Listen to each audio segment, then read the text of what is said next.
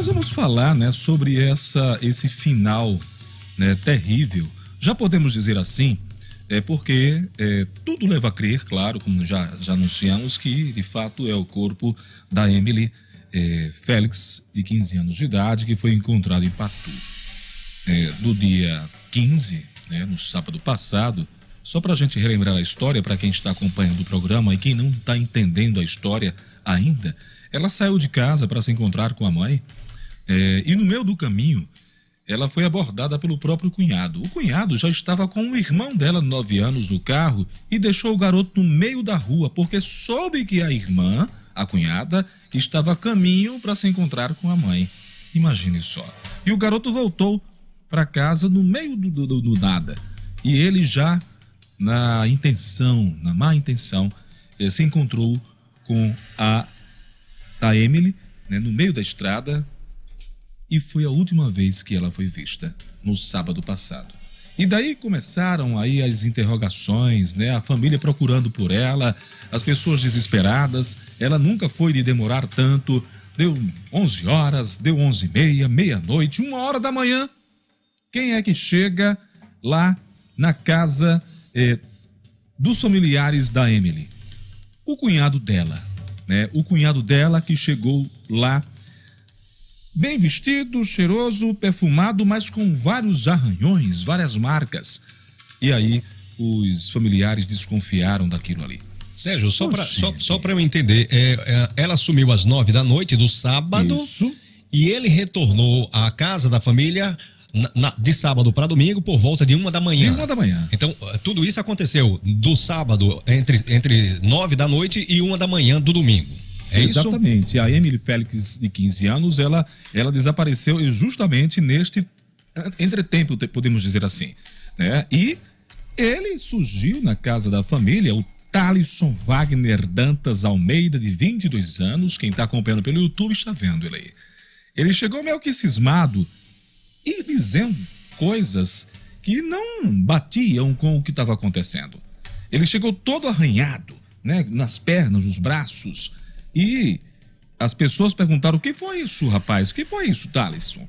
Esse eu quero dizer a verdade. Essa história que eu estou contando agora foi confirmada.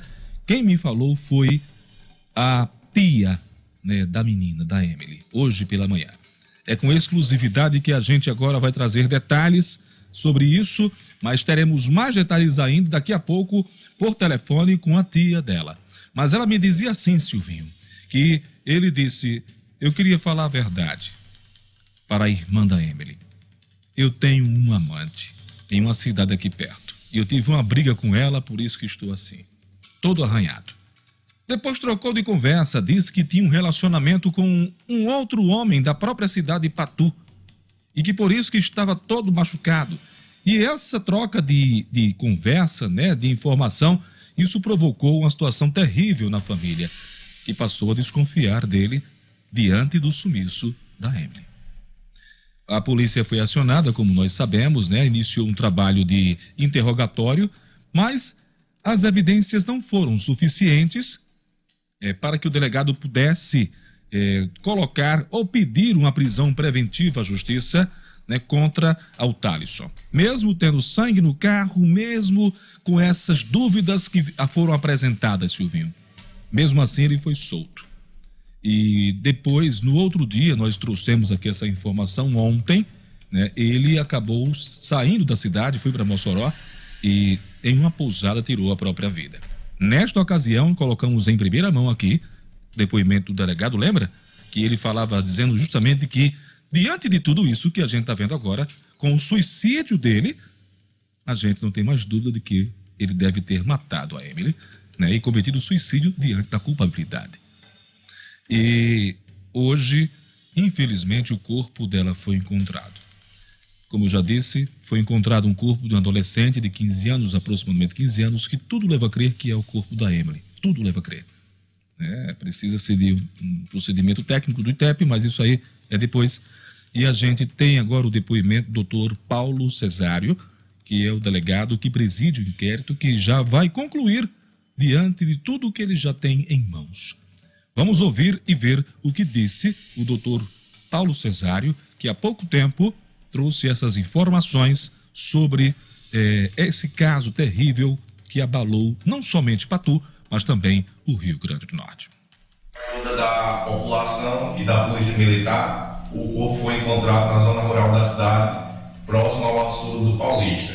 O corpo foi encontrado carbonizado, o que aponta que possivelmente a vítima foi queimada com a gasolina que havia sido noticiado que o investigado tinha comprado. Então, com isso, é, a, aqui estamos encerrando essas primeiras diligências do procedimento e para poder fecharmos, aguardaremos o resultado dos laudos para que o inquérito possa ser concluído definitivamente.